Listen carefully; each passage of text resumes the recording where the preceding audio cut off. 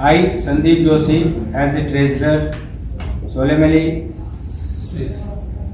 solemnly swear to fulfill my roles as the treasurer of Udayan for the year 2024.